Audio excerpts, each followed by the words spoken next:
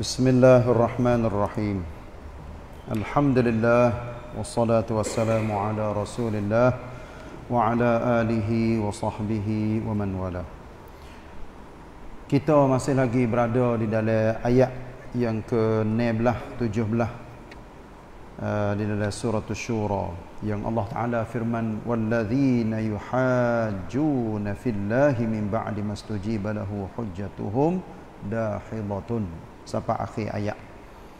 Maksudnya dan orang-orang yang berhujah menyengkal maknanya orang yang duk tekan duk lawan dan membantah tentang kebenaran agama Allah sesudah disambut dan diterima agamanya itu maknanya orang-orang Islam terima Islam tapi duk ada lagi setengah-setengah orang yang duk lawan duk guna otak nafsu dia untuk nak bantah. Apa bantah dan tuduh palsu mereka itu sia-sia belaka di sisi Tuhan mereka. Dan sebaliknya mereka ditimpa kemurkaan dari Allah serta mereka beroleh azab seksa yang seberat-beratnya. Dalam ayat ni ada kata-kata uh, Abdullah bin Abbas radhiyallahu anhuma dia katanya berkata mujahid jadalu al-mu'minina ba'da mastajabu lillahi wa li rasulihi liyasuddu liyasudduhum 'anil huda wa tama'u an ta'udal jahiliyah. Abdullah bin Abbas berpendapat dalam ayat ni katanya orang-orang kafir musyrikin berusaha membantah ataupun duk lawan orang-orang beriman selepas daripada orang beriman itu menyahuti seruai panggilan Allah dan Rasulnya sebab apa tu? Sebab orang kafir musyrikin dia nak sekat hidayah maknanya dia tak sewa jadi petunjuk jalan yang sebenar tu siapa kepada orang-orang yang beriman. Kalau kecek bahasa kampung mudah-mudah dia nak bunuh Nabi Lepas tu dia tak siu jadi Islam tu bangun. Lepas tu nak jadi kembali semulanya jahiliah. Sistem jahiliah nak jadi hidup, hidup, hidup, hidup. Ni adalah tabiat yang Allah bubuh dalam perasaan akal fikiran hati orang-orang musyrikin. Berkata kata dah. Ni orang-orang geligor belakang ni pada zaman dahulu. Ia katanya orang yang suka berbantah pasal nak tekan sokmo, nak lawan sokmo, humul yahudu wan nasara. Qalu lahum dinuna khairun min dinikum wa nabiyyuna qabla nabiyyikum wa nahnu khairun minkum wa aula billahi minkum ni pasal satu tabiat pula iaitu nya puak Yahudi dan puak Kristian. Dia kata kan dia kata kepada orang-orang Islam agama kami lebih baik daripada agama kamu nabi kami mari belum daripada nabi kamu ni kata kepada orang Islam dan kami lebih baik lebih utama di sisi Allah daripada kamu. Nak ayat katanya kecek nampak megah. Ha, terduk berasa katanya pok-pok dia lah yang betul yang benar maka Allah royak di dalam Quran ayat yang ke-16 surah Asy-Syura ni menggambarkan kepada kita bahawa orang-orang yang membantah tu selalunya bantah. Bantah maknanya tekan lawan tak ada alasan tak mimi head pun pasal nak lawan semata-mata. Lagu-lagu mana aku kena benar ha, lagu tu? Dia tak kira katanya dia tak ada hujah tak ada dalil tak ada bukti. Dia pasal nak sedak mulut dia dia royak royak kecek kecek kecek. Ni adalah pok-pok musyrikin pok Yahudi dan Kristian. Ada lagi? Hadis. Uh, hubungnya dengan ayat-ayat ni juga ni.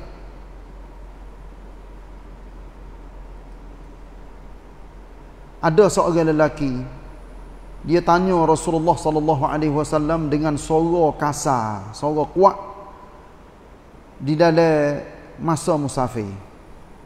Dia kata kan, "Ya Muhammad." Ha, dia panggil gitu. Dia tak panggil ya Rasulullah. Cik ni, orang dia panggil ya Muhammad. Orang tak hormat kepada Nabi. Yahudi waliknya. Nah, walaupun ada setengah-setengah pasal orang Arab Badawi. Arab Badawi ya pasal orang tak ada adab lah. Dia tahu katanya Nabi, tapi pasal dia, pasal orang kalau istilah orang tempat kita orang mari benar. Orang mari benar bukan arti katanya orang benar tak ada adab, tak ada akhlak. Tapi istilah panggil le katanya, mari benar mana oi? Ha gitu. Nah. Dia panggil ya Muhammad. Faqala lahu Rasulullah sallallahu alaihi wasallam nahwan min sauti. Ha um. Orang itu panggil Nabi, Nabi pun nyahuk supo dengan hak dia panggil tu. Nabi katanya, "Ya, aku dah ni." Ha gitulah. Faqala lahu mata sa'ah. Dia panggil, dia panggil Nabi, dia tanya Nabi, "Kiamat bila weh?" Ha, dia tanya mudah-mudah. Kiamat tu bila? Nabi tanya faqala Rasulullah sallallahu alaihi wasallam, "Wayhak innaha kainah fama a'datta laha?" Nabi katanya, eh, mung tegamok tanya. Kiamat ni tetap akan berlaku. Innaha kainatud. Kiamat tetap akan berlaku tapi mung sedia gapo untuk diri mung sebelum hari kiamat ataupun apabila tib, tib, tiba tipanya hari kiamat mung sedia gapo untuk diri mung sendiri. Faqal hubbullahi wa rasuluh. Masya Allah. Hubbullahi wa rasulih. Nah, hubbullahi wa rasulih. Dia katanya, aku tak ada sedia hak lain dah. Tapi sedia so, iaitunya kasih kepada Allah dan kasih kepada Rasulnya. Sallallahu alaihi wasallam. Ni kata-kata pasal ni orang Arab Badawi. Ha. Faqala Rasul faqala sallallahu alaihi wasallam anta ma'a man ahbabta. Mung akan berada bersama dengan orang yang mung kasih. Maknanya bila mung kasih kepada Allah dan Rasul, mung akan berada dengan Allah dan Rasul sikit lagi. Jadi nak ayat katanya ha hari kiamat ni tak ada kira siapa. Kena adanya persediaan. Yang Nabi tanya orang Arab Badawi saat ni. Mung sedia ke apa? Maknanya, cirak ni, dia kena sedia amalan-amalan gotu gani. Tapi dia jawabnya sebagai satu pengajaran kepada kita. Iaitunya, cinta kasih kepada Allah dan Rasul menunjukkan bahawa orang tu dia terima ajaran Allah dan terima nak amal dengan ajaran Rasul sallallahu alaihi wasallam. Sebab itulah kita mesti tani dalam jiwa kita kasih kepada Allah dan Rasul adalah setinggi-tinggi cinta kita dalam hidup. Siapa Nabi ada rakyat di dalam hadis katanya tidak sempurna iman seseorang kamu sehingga kamu kasih kepada aku lebih daripada bapa kamu, diri kamu, anak pinak kamu dan semua manusia. Apa benda-benda pasal ni bukan mudah dah. Bukan mudah kita nak tani dalam jiwa kita, hati kita kasih kepada Allah, kasih kepada Rasul lebih daripada kita kasih kepada orang hak kita hak kita tengok benda hak kita duk duk tepuh duk tengok nak nak hari Saya tanya ni, tanya main-main ya. Siapa tak tak saya ke bini ke tok lelaki? Saya dah. Dah ya hak kita. Duduk sekali dengan kita. Siapa tak tak saya kepada mak pak? Ha gitu. Siapa tak saya ke anak? Siapa tak saya kepada harta benda? Go to go ni, go to go ni dan sebagainya. Sebab benda ni benda hak duduk sekali dengan kita. Sia malam, sia malam kita duduk tengok, duduk hitung, duduk mikir ha dia go to go ni, go to go ni. Saya misal mudah-mudah. Kita nak saya, nak kasih kepada Nabi ni memang ia adalah salah satu daripada rukun iman yang kita kena percaya kepada rasul-rasul nabi-nabi. Saya buat misal mudah-mudah. Kita dah jumpa dengan mak pak kita tapi tak chair kita tak ki kita kita tak ada jumpa. Saya tanya main-mainnya kita dengan mak pak kita kalau kita banding dengan tok ki kita kita tak ada jumpa dengan dia dia mati. Kita lahir mari pak dia mati lama dah puluh-puluh tahun dah dia mati saya tanya, kita kasih kepada siapa antara toki kita dengan pok kita? Ceraklah kita saya kasih kepada pok kita sebab dia duk pera kita yang kecil sampai besar. Kita duk nampak dia. Duduk sekali dengan dia. Dia didik kita we duit go to go dengan lata-lata. Bawa sampai satu hari dia mati. Tapi toki kita walaupun Orang tua kita duk royak, duk bagi gotu bagi gani, tapi kasih kita, cinta kita kepada toki kita, ia tak mesra supaya dengan pok kita sendiri. Tapi Nabi royak suruh kasih kepada dia. Kasih kepada Nabi tu. Dia jadi lebih daripada segala manusia. Atas muka dunia ni. Oh, benda ni bukan mudah. Benda ni bukan mudah. Bukan mudah. Lepas tu suruh amal pula dengan ajaran dia. Bukan kasih di di tubuh Nabi saja dak. Tapi ajaran Nabi pesannya dia. Hak tu dia suruh, suruh kita amal, suruh kita buat tu. Dikasih kepada Nabi tu cerak dah. Sebab itulah Nabi ada royak di dalam so hadis lagi. Ha ni kat ni. Al mar'u ma'aman ahabba seseorang itu akan bersama dengan orang dia kasih. Jadi kalau misal saja ni kita di atas dunia ni kita kasih kepada darah. Dalam otak kita ni darah semua, darah, darah, darah, darah, darah. Tengok peraik itu, naik itu, peraik itu, naik itu. Lepas tu kadang-kadang kasih kepada orang kafir ni nampak terlajak doa. Ha ni teruk dah tu. Teruk orang tu. Kecek mudah-mudah kena bos sabung. Kocok go go go go go go go go go go go go go buf. Buai habis. Pasal benda dalam otak dia, dalam hati dia kena basuh dengan sabung kocok jadi cuci sungguh. Akidah tak betul dah tu. Orang dia kasih kepada orang kafir lebih daripada orang Islam. Tak ada kira orang kafir tu tamneng gapo sekalipun Orang Islam kita jangan bubuh sama sekali dalam hati dia, dalam otak dia. Kasih hormat kepada orang kafir tapi bo tengok orang Islam nampak hina, nampak pelekeh. Oh, hak tu gak teruk benar. Sebab itulah kita kena tani dalam jiwa kita Allah dan Rasul. Lepas pada tu barulah orang-orang Islam. Termasuknya orang Islam iaitu ibu bapa kita. Tak cer tak nye kita. Maknanya bariwan kita orang duduk berada di keliling-keliling kita. Dan semua orang-orang Islam. Dan orang Islam semua adalah bersaudara. Kena bubuh macam ni barulah kita berasa tak sehina kepada orang-orang Islam. Tak se mengupak tak se kata tak se maki tak se pelekeh dia.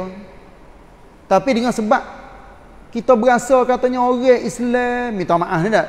Saya tak ada cok-cong tumpu kepada siapa-siapa.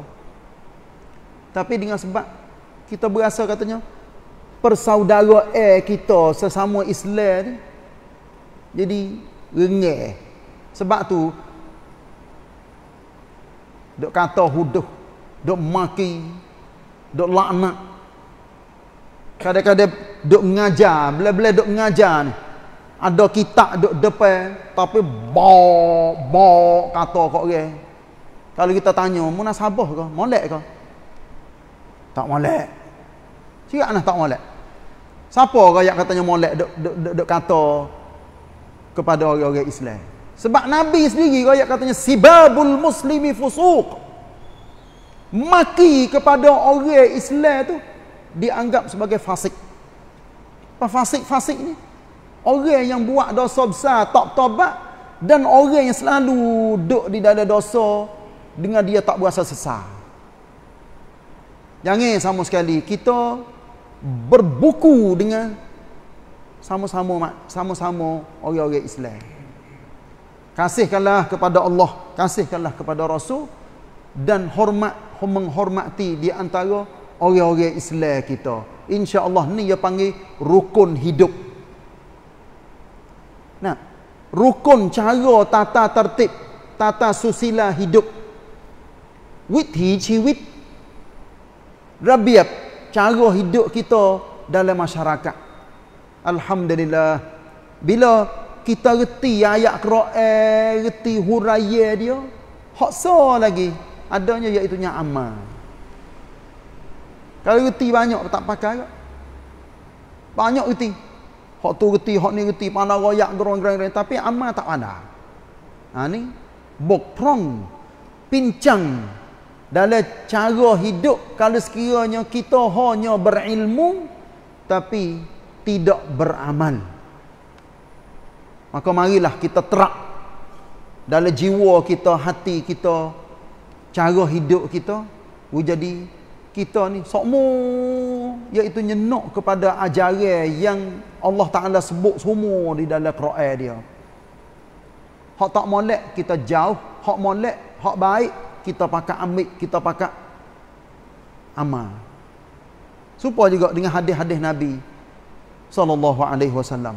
Mari kita pakai guna. Kasih kepada Nabi ni setiap orang pakai kasih belaka dan menzahirkan ke apa ni? Kasih kepada Nabi itu dalam berbagai bentuk. Rubah tantang orang tu kasih, dia tunjuk lagu tu. Orang ni kasih, dia tunjuk lagu ni. Orang ni kasih, dia tunjuk lagu pesan dia. Dikasih kasih belaka kepada Nabi. Tapi marilah kita pakak jadi hak kasih yang sebenar tu pakak amal, pakak ngaji. Kata-kata dia, amalan dia, usaha dia. Ha ni, nak ayat katanya, marilah kita jadi pasal semua di dalam hidup kita. Nah, lepas tu nak duduk sekali dengan Nabi sallallahu alaihi wasallam di dalam syurga sikit lagi. Dan insya-Allah kalau tak boleh duduk depek pun kita akan boleh ziarah Nabi nah, sallallahu alaihi wasallam. Sebab tu banyak kita selawat kepada dia, banyak kita ingat kepada dia. Siapa kau sahabat ada? Saya royak cerita pandak-pandak sini.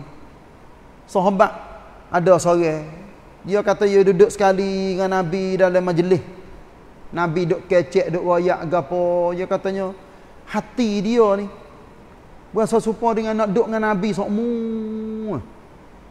Nak duduk dengan Nabi sokmo. Kalau boleh 24 je nak duduk sokmo. Tapi pen pai medai.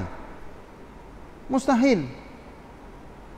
Nabi nak pergi duduk sekali sokmo dengan orang ramai. Sebab Nabi dia ada isteri dia, ada anak dia. Dan ada hak peribadi dia, ada dengan orang ramai. Dia goyak. Dia katanya, bila dia kelik ke rumah dia, ni, sahabat ni. Bila dia kelik ke rumah dia, Walaupun dia duduk sekali dengan isteri, duduk sekali dengan anak-anak, tapi hati dia dia ingat kau Nabi, eh Nabi dia buat gapo lah rumah. Supaya kita ingat kau orang yang kita kasih tu. Nah, belum pada menikah dulu kat masya-Allah. Eh pukul 9 ni, ya ada buat gapo. Ha tu, duk makan nasi kau, kau duk mandi kau, kau duk buat ga tu buat ga ni. Masya-Allah, hati duduk dengan dia. Lalu itulah sahabat ni dia jumpa sekali lagi dengan Nabi. Dia rabai. Royak kuam rusuk dia. Nabi. Saya duduk sekali dengan Nabi. Bila saya becek. Pergi duduk sekali dengan anak dan isteri. Tapi hati saya duduk sekali dengan Nabi semua. Itulah. Nabi ada sebut satu ayat Quran dan satu hadis pandok-pandok. May yuti'illah wa rasulahu. Apa? Uh, ayat Allahu 'alaihim ma'an nabiyyin wa siddiqin wa syuhada'i wa salihin. Ayat tu Siapa-siapa yang taat kepada Allah dan Rasul, maka orang itu akan boleh duduk bersama dengan para nabi, para siddiqin, syuhada dan salihin. Nabi pun pesan kepada dia. Pesan kepada dia tak siwu jadi nampak terlajak sangat. Nabi katanya, sa'atan sa'atan. Nah, we kita ngapa pagi hari ni. Kelimuh tu lah, tapi Nabi sebut dua kali. Sa'atan, sa'atan. Sa'ah maknanya masa ni mu duduk sekali dengan aku. Mu ngaji, mu dengar, ni sa'ah. Tapi sa'atan sa lagi, masa mu duduk dengan isteri, duduk dengan anak, duduk dengan kerja, duduk dengan gatu. Hak tu masa tu pula. Tapi kita tak becek kita tak baca. Nak ayat katanya, dalam hidup seseorang manusia ni, dia kena adanya masa ni yang ngaji, masa ni yang kerja, masa ni dia akan melangkah, masa ni dia kena jumpa, masa ni kena mesyuarat, masa tu. Tapi semua kau, semua tu adalah lillahi ta'ala belakang. Lepas tu, bawa esok ataupun lain kali, kita mari jumpa pula. Ha tu, itulah. Orang Islam Waklah gapo-gapo duk mana saja atas muka dunia. Tapi alhamdulillah hati dia terikat dengan Allah, terikat dengan Rasulullah sallallahu alaihi wasallam di mana sahaja dia berada. Nah, alhamdulillah hari ini walaupun saya tak ada baca ayat sepenuhnya tapi baca dah kemarin sebagai tupuk tambah. Ayat ni mari hurai hadis-hadis yang ada di dalam tafsir untuk lebih kita faham lagi. Alhamdulillah. Wa sallallahu ala nabiyyina muhammad wa ala alihi wa sahbihi wasallam wassalamu alaikum warahmatullahi wabarakatuh